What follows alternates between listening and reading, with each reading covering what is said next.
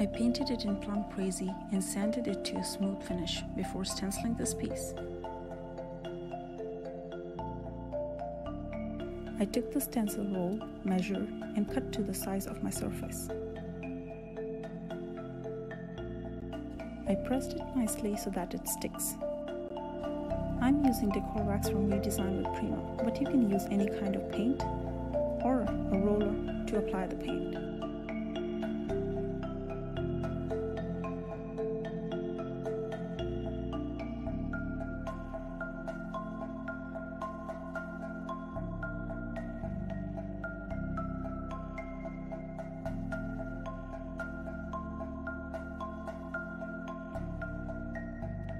This stencil is reusable, so it can be used to complete the entire project. Redesign with Prima waxes need not be sealed, but if you are using it on unsealed surface, then make sure once they dry completely, you seal them with a clear top coat.